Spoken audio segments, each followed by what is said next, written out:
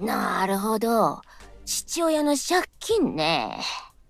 まよくある話だけど。そうですね。鈴鹿が来るまでの間に俺たちの出自の話を一通りを終わらせた。鈴鹿が生まれてすぐ父子家庭になったこと。父が仲間内で起こした会社が不渡りを起こして首が回らなくなったこと父がその借金を請け負ってしまい俺たちを残してそれを返し続けていること。であんたが妹の親代わりとして育ててきたってわけだ。そんな感じですね。あいつに我が家の苦労を背負わせたくはなかったので。なかなかにハードな幼少期だったが鈴鹿のためと思えば何も辛いとは思わなかった。ふむあんたのシスコンぶりはよーくわかった。シスコンという言葉で片付けんな否定はしないけど。それなのに妹を寮に入れっぱにしていいのかい？現状それがベストという認識です。俺は就職活動中だし生活がここまで不安定では鈴鹿の勉勉学の妨げになります妨げにならないよ。どんな環境でもできる人はできるって兄さんがよく言ってるじゃん。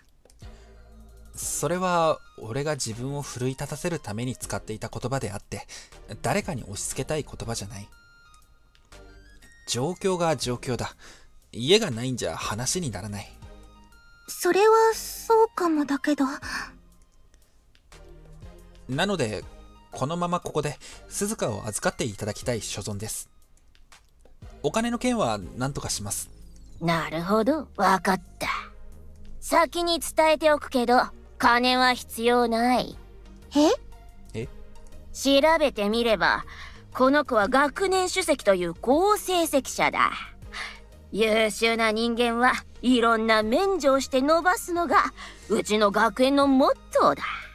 なので寮はむしろ優先的に所属できるし費用はゼロになる優秀な妹に感謝しないよ。し知らなかった。というか学園から入寮案内があったんじゃないか？え？こいつ俺に余計な情報を与与えまいとして隠してたな。なので問題はこちらではなくそちら側なんだよ。俺らの方？どうなんだい？妹として。お兄ちゃんと離れ離れでいいのかい？本当は今まで通り一緒に暮らしたいんじゃないのか？露骨に困った顔をしてみせる鈴鹿。鈴鹿。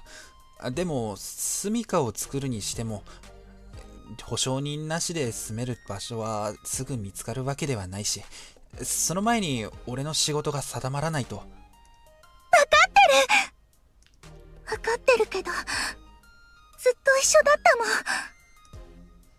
めったに見せない鈴鹿のわがままに俺も戸惑いを覚える。なあお兄さんよ。料理とか家事手伝いはできるかい？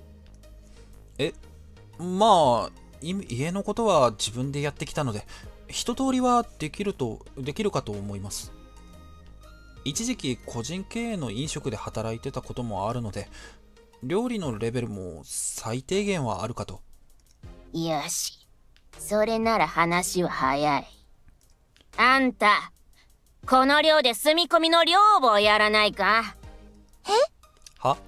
寮母と言っても毎日の夕食は担当がいるからその手伝いでいい。朝食と掃除とかだね。ずっと妹の面倒を見てきたわけだろ。その対象が増えるだけだし大した労力でもないだろ。大した労労力です。世の保育士介護士たちがどれだけ苦労しているかと。うもともとは住み込みがいたんだが今はいなくてね。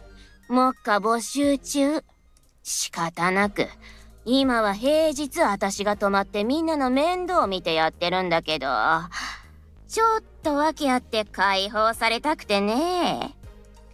わけ？おお聞くかい？聞いちゃうかい？いえ結構です。このリアクションの時点でろくでもない内容であることを察する。新しい彼氏ができたんだよなかなかに面白いやつでね。一緒に暮らす約束をしてるのさ。うわ女は何歳になっても女ってことさ。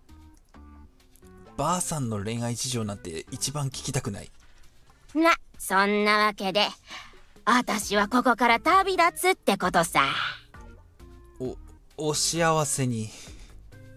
無難に返しておくで私としてはとっととここから出たいから人を探してたんだけどさ。ほらこの寮の子たちも私にとっては愛する子たちだ。誰でもウェルカムというわけにもいかない。その上募集自体も来ないもんだからどうしたものか考えあぐねていたところだ。来ない理由この人のせいではなかろうか。いい話だろそれならあんたも食と住まいを得られるし妹さんも一緒にいるから全部の問題が解決する。うん確かに願ってもない提案だ。さてどうするか。やるやるやる! どれでもいいけど真ん中のやる。やるしかねえ! まあやるしかねえしやるしかねえんだよ。今の俺に選択肢なんてあるわけがない。やります。やらせてください。ふむいい返事だ。そう。